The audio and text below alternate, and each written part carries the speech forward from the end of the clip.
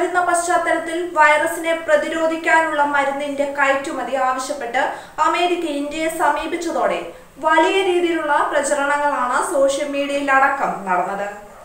ഇന്ത്യയെ അമേരിക്ക ഭീഷണിപ്പെടുത്തി എന്ന തരത്തിൽ വരെ വാർത്തകൾ പടർന്നിരുന്നു. എന്നാൽ ഇപ്പോൾ ഡൊണാൾഡ് ട്രംപ് തന്നെ നിജസ്ഥിതി വെളിപ്പെടുത്തി രംഗത്ത് വന്നിരിക്കുകയാണ്. ഒരു അന്താരാഷ്ട്ര മാധ്യമത്തിന് നൽകിയ ടെലിഫോൺ അഭിമുഖത്തിലാണ് ഇന്ത്യയെ സംബന്ധിക്കുന്ന ഇക്കാര്യം വ്യക്തമാക്കിയത്. ഇന്ത്യൻ പ്രധാനമന്ത്രി നരേന്ദ്രമോദിയുമായി ടെലിഫോണിൽ ബന്ധപ്പെട്ടു. മരുന്നുകൾ നൽകാനാവുമോ എന്ന് അദ്ദേഹത്തോട് അഭ്യർത്ഥിച്ചു. അദ്ദേഹം വിശാല മനസ്സുള്ള വളരെ വലിയ നേതാവാണ്. ഇന്ത്യയുടെ ആവശ്യത്തിനായാണ് മരുന്നുകൾ കയറ്റുമതി നിർത്തിവെച്ചിരുന്നത്.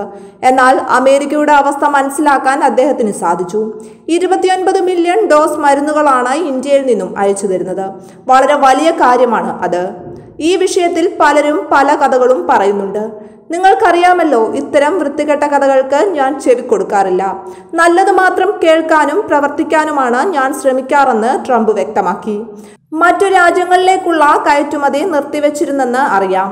താൻ കഴിഞ്ഞ ദിവസവും മോദിയുമായി സംസാരിച്ചിരുന്നു. വളരെ നല്ല രീതിയിലായിരുന്നു ചർച്ചയെന്നും അദ്ദേഹം പറഞ്ഞിരുന്നു.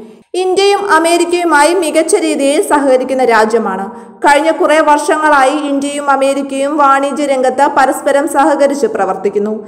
ഇത്തരമൊരു തീരുമാനം മോദിയുടേതാണെങ്കിൽ അദ്ദേഹം തന്നോട് അത് പങ്കുവയ്ക്കുമായിരുന്നുവെന്നും ട്രംപ് കഴിഞ്ഞ ദിവസം വ്യക്തമാക്കിയിരുന്നു. കോവിഡിനെതിരെ പോരാടാൻ മലേറിയക്കെതിരെ ഉപയോഗിക്കുന്ന ഹൈഡ്രോക്ലോറോക്വീനാണ് ട്രംപ് മോദിയോട് ഫോണിലൂടെ ആവശ്യപ്പെട്ടത്. ഇതിനു പിന്നാലെ മരുന്നുകളുടെ കയറ്റുമതിക്ക് ഇന്ത്യ ഏർപ്പെടുത്തിയിരുന്ന നിയന്ത്രണങ്ങൾക്ക് ഇളവ് നൽകി. നിയന്ത്രിത മരുന്ന് പട്ടികയിൽ പാരസെറ്റാമോളും ഹൈഡ്രോസി ക്ലോറോക്വീനും തുടരുമെന്നും കേന്ദ്ര സർക്കാർ അറിയിച്ചു. എന്നാൽ ആവശ്യമുള്ള രാജ്യങ്ങൾക്ക് അത് നൽകും. കോവിഡ് കാലത്ത് മാനുഷിക പരിഗണന വെച്ചാണ് ഇത്തരം ഇളവെന്നും വിദേശകാര്യ മന്ത്രാലയം അറിയിച്ചു. മരുന്നുമായി ബന്ധപ്പെട്ട ട്രംപിന്റെ പരാമർശങ്ങൾ ചില മാധ്യമങ്ങൾ തെറ്റായി വ്യാഖ്യാനിക്കുകയും പ്രചരിപ്പിക്കുകയുമായിരുന്നു. എന്നാൽ ഇപ്പോൾ ട്രംപ് തന്നെ രംഗത്തെത്തിയതോടെ വ്യാജ വാർത്തകൾക്ക് അറുതിയായെന്ന് പറയാം. Web desk news. നിങ്ങൾ പാടാൻ കഴിവുള്ള ആളാണോ? എങ്കിൽ ഒരു പാട്ട് പാടി ഞങ്ങൾക്ക് അയക്കൂ. അതൊരു കവിതയാകാം സോളോയാകാം ആകാം മുഴുവനായി ആലപിച്ച ഗാനത്തിന്റെ വീഡിയോ ക്ലിപ്പ് ഞങ്ങളുടെ വാട്സപ്പ് നമ്പറിലേക്ക് അയയ്ക്കുക. മികച്ച മൂന്ന് എൻട്രികൾക്ക് ക്യാഷ് അവാർഡുകൾ. വിഷുപുലരിയിൽ വിജയികളെ പ്രഖ്യാപിക്കുന്നു.